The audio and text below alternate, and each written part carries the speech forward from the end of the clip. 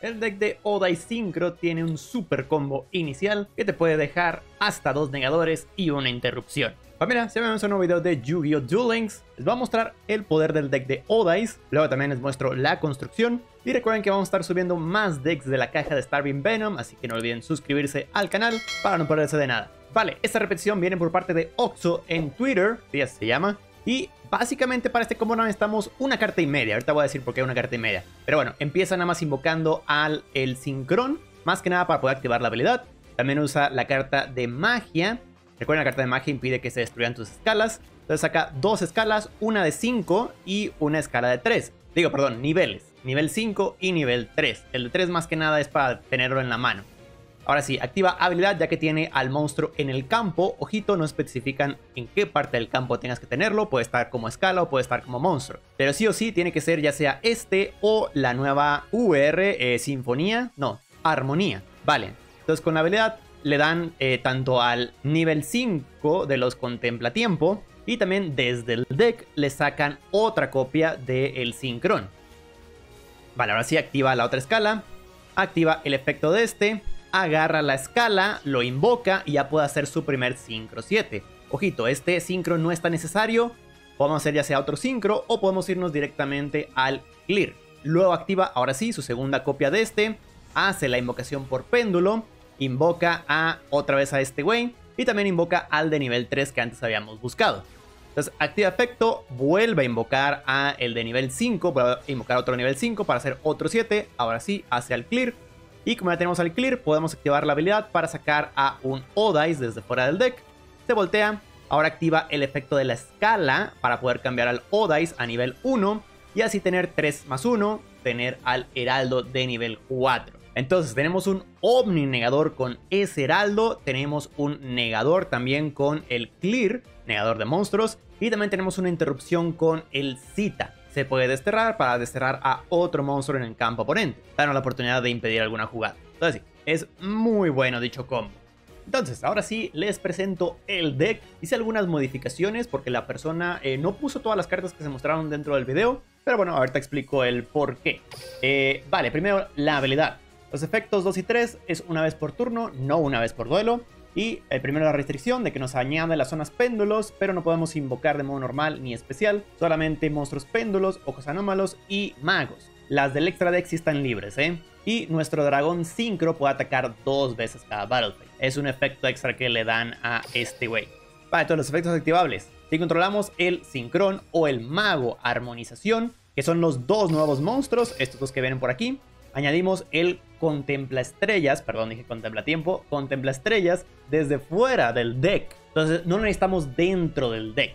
Además de un artista amigo sincrón de ojos anómalos o cualquier monstruo péndulo mago de nivel 3 o menor desde tu deck a tu mano. Entonces podemos agregar a este o cualquier otro mago niveles bajos. Y aparte, si controlamos un dragón sincro, quiere decir de nivel 7, podemos poner al Odice común y corriente desde fuera del deck en posición de defensa y se puede cambiar. Más que nada para que este güey pueda hacer de las suyas cambiándolo a cantante 1. Vale, entonces con esto, pues sí o sí queremos las tres copias de este, es el más importante, pero también las copias de esta te pueden ayudar mucho para poder este, activar la habilidad. Recuerden eso. Entonces, de esta podemos poner una o dos copias, pero también podemos poner afinación para poderlas buscar. Creo que va a ser una muy buena carta. Igual, tenemos otro buscador con llamada del péndulo. Y también, como vamos a tener varios magos, digo ya que ella es una maga, podemos usar el mago ojo de sabiduría para también buscar. Entonces es muy estable el deck. Ojito, ¿no? Recuerden la combinación de estas dos cosas, que este no te permite destruir y este destruye. Entonces, cuidadito con eso. A mí siempre se me olvida. Pero bueno, con eso ya la iniciación de la habilidad ya es muy fácil, es muy consistente. Lo malo es que pues sí es de preferencia empezar con el llamado ya que te da el más uno. Bueno, te pone dos cartas para que sí o sí puedas hacer toda la jugada esa que vimos. Ojito, si no tenemos el llamado y nada más empezamos con uno de estos o esto, o podemos buscar con este, o con este y usando la habilidad buscamos este, eh, aún así nos podríamos quedar con los dos negadores. Nada más no tendríamos el otro monstruo extra. Pero sí, lo ideal es empezar con este para poder activar la habilidad, que te regalen uno de estos. Como dije, te lo regalan, entonces no necesitamos ponerlo en sí dentro del deck. Por eso es que dije que hice unas modificaciones. El que vieron en la repetición es este. Simplemente un nivel 5 extra es bueno para poder dejar otro nivel 7 en campo. Pero igual, aquí pueden jugar ustedes con esto. Pueden meter a otros magos para poder buscar con la carta de magia de diferentes niveles para poder jugar con los sincros que van a poder hacer. Entonces en realidad no es necesario este güey en sí. Vale, entonces con esa primera invocación ya tenemos sí o sí un sincro 7 en campo. Más aparte, eh, uno de estos en la mano. Entonces la habilidad te va a convocar también al Odice. Y ya podrías poner el segundo para irte directamente a 8 ya sea que hagas a este o también puedes poner al Crystal Wing, pero nada más que con el Crystal ya no podrías tener la posibilidad de invocar a este. Vale, ahí es donde decir carta y media es importante porque tienes esta en escala, y así tienes otra escala baja, por ejemplo este o este, ya puedes invocar por péndulo y hacer más jugadas. Ahí también es donde entra en juego esta, que si se invoca por péndulo te puede sacar otro monstruo desde el deck. Entonces sí, por eso siento que este es muy importante, el rompetiempo, ya que también con esta puedes hacer el Synchro 7, que va a ser de lo más importante en este deck. Además que también la habilidad, recuerden que te puede buscar un mago nivel 3 o menor. Entonces esta es nuestra otra opción.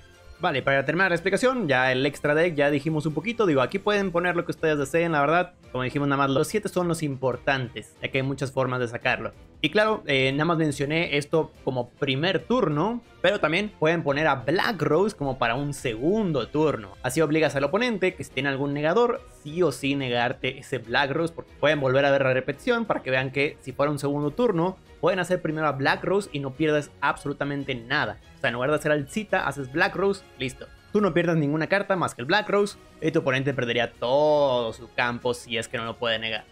Y bueno, nada más muestro otro ejemplo de deck. Este también lo pueden ver en Duelings Meta. Es un rey de duelos que por suerte nos dejó algunas repeticiones también por si ustedes quieren verlas por su cuenta. También nos dijo unas cuantas recomendaciones que eh, de hecho eso es lo que yo puse extra, el Joker que no mencioné, ya que este te puede sacar al sincron luego luego, ponerlo como escala, habilidad, como dije, no necesita estar como monstruo, puede estar como escala añades a tus monstruos. Claro, aquí te dice que añadas al noble, porque también se puede invocar de manera especial y es un candidate también. Y que también la habilidad podría buscarlo en todo caso al ser nivel 3. También es un muy buen ejemplo de carta. Invocación por péndulo al noble, eh, Clearwing, ya que tienes 3 y 4. Luego la skill te saca el Lodice, haces el Synchron para cambiar a Lodice a nivel 1 y haces al Crystal Wing. Sí, es el combo común y corriente, que es lo que justamente Konami quieres que haga. Pero sí, ahí sí ya es eh, únicamente usar a este limitado a uno y no al Heraldo. Pero bueno, como dije, es otro ejemplo que ustedes pueden checar.